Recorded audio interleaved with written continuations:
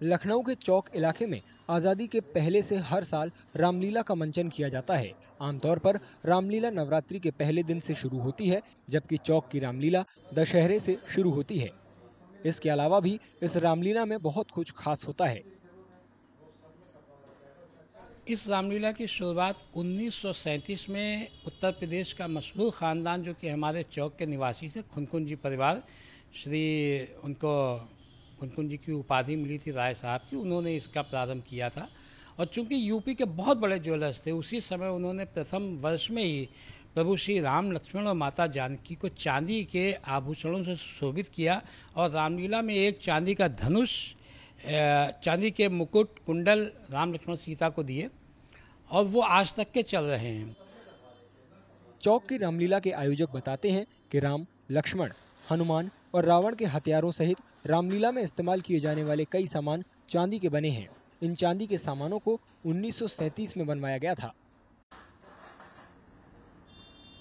ये रामलीला के आभूषण जो आप देख रहे हैं, वो पूर्णतः चांदी के सब बने हुए हैं। और दूसरी बात ये है कि ये जब हम पैदा नहीं हुए, तब से बने, काफ़ी कुछ बने हैं, कुछ बाद में और भी बने।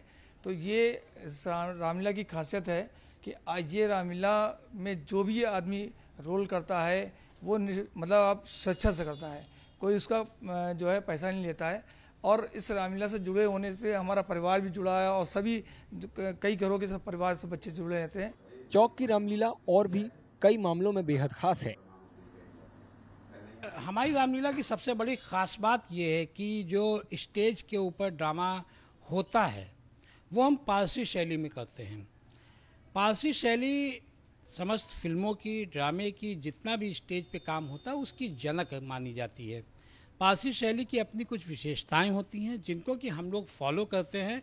और आज भी हमारी एकलौती ऐसी रामलीला, मैं ये गर्व के साथ कह सकता हूँ कि उत्तर प्रदेश में एकलौती ऐसी रामलीला है, जो पारसी शैली में होती है। चौक रामलीला में किरदार निभाने वाले कलाकार लखनऊ के ही हैं। वे रामलीला शुरू होने से पहले एक महीने तक प्रैक्टिस करते हैं। सभी कलाकार अपना काम छोड़कर रामलीला में भाग लेते हैं और इसके लिए कोई रुपए भी नहीं लेते।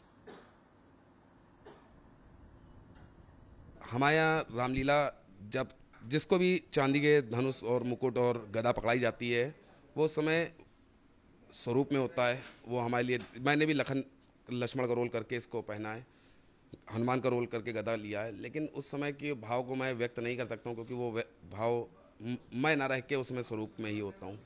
चौक की रामलीला की खूबसूरती और समृद्ध विरासत को शब्दों में बयां कर पाना आसान नहीं है। अगर आप भी इसका लुत्फ उठाना चाहते हैं तो दशहरे पर लखनऊ घूमकर आना ही होगा।